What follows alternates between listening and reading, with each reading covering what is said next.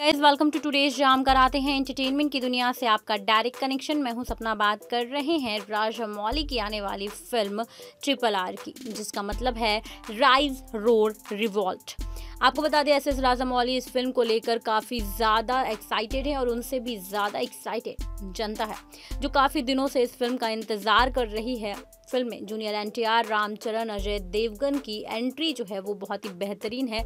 और खासकर क्योंकि इसमें बॉलीवुड सितारे भी नज़र आने वाले हैं, इसलिए भी ये फ़िल्म और भी ज़्यादा अवेटेड हो गई है। एक पैन इंडिया फ़िल्म है जिसे 8 जनवरी 2021 को रिलीज़ किया जाना था, लेकिन हम सभी जानते हैं कि हमारे बीच में इतनी बड़ी महामारी आ गई है, जिसकी वजह से हर एक प्रोजेक्ट रुक गया है और एक बार फिर कोविड 19 की ही वजह से इससे ज़्यादा मौलिक की फ़िल्म ट्रिपल आर की शूटिंग भी बीच में रोक दी गई थी। आपको बता दें कि काफ़ी शूटिंग जो है अभी बाकी है, काफ़ी सारा काम जो है अभी बाकी है।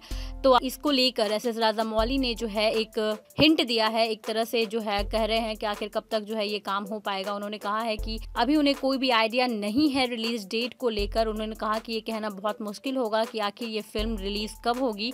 लेकिन जब भी होगी, कम से कम सात आठ महीने तो अभी लग ही जाएँगे। अभी शूट भी शुरू करना है और फिर सारे काम बाकी हैं।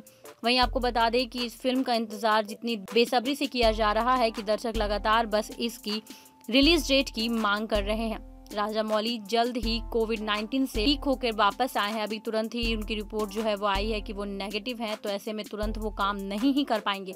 तो देखते हैं कि ये फ़िल्म कब रिलीज़ हो पाती है। वैसे आपको बता दें कि वो जल्द ही और भी फ़िल्मों में नज़र आएँगे, जैसे कि सुपरस्टार, जिसमें महेश बाबू जो है वो नज़र आएँगे इनके साथ। इसके अलावा वो महाभारत फ़िल्म भी बनाने वाले हैं, जो कि उनकी ड्रीम प्रोजेक्ट होगी।